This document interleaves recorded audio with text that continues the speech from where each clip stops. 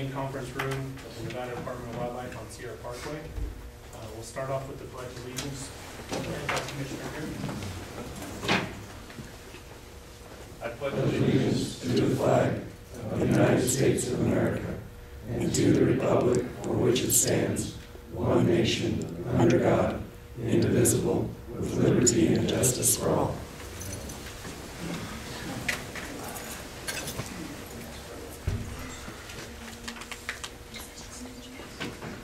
Suzanne, would you call the roll of the commission, please? Chairman Wallace, Here. Vice Chairman Johnston, Here. Commissioner Drew, Here. Commissioner Hubbs, here, Commissioner McNinch, Here. Commissioner Valentine, Here. and Commissioner Young. Sure.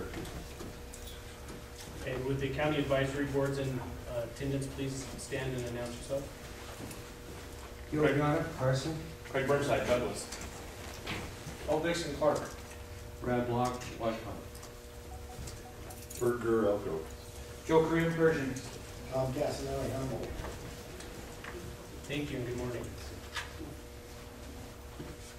Move on to item number fifteen of the agenda, approval of the agenda. For possible action, the commission will review the agenda and may take action to approve the agenda. The commission may remove items from the agenda, continue items for consideration, or take items out of order. Everyone has a chance to review the agenda? Comments or questions? Hearing none, I'll take it out to public comment. Is there any public comment on approval of the agenda? Seeing none, I'll bring it back to the commission for a a motion. Mr. Chairman, I move to approve the agenda as presented. I'll second I have a motion by Commissioner, Vice Chairman Johnston and Commissioner Young, a second by Commissioner Young to approve the agenda as presented. I'll call for the question. All in favor, say aye. it. Opposed? Motion passes unanimously. Item number sixteen, member items, announcements, and correspondence.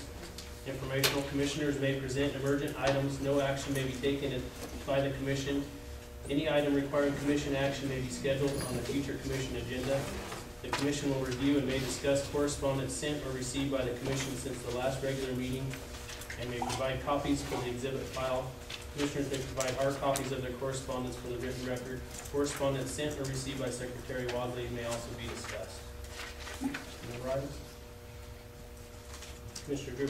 Yeah, I had one that uh, I forgot to put on the record yesterday, but the governor's office had contacted me, my appointment uh, as a member of this commission to the Sagebrush Ecosystem Council um, expired or was set to expire at the end of June. Um, They asked me if I was willing to serve a second appointment, and I indicated that I was.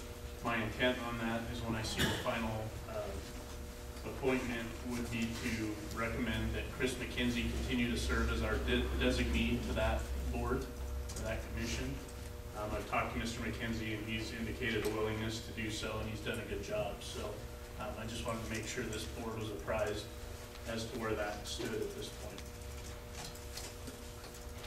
Thank you, Commissioner Drew. Any further member items?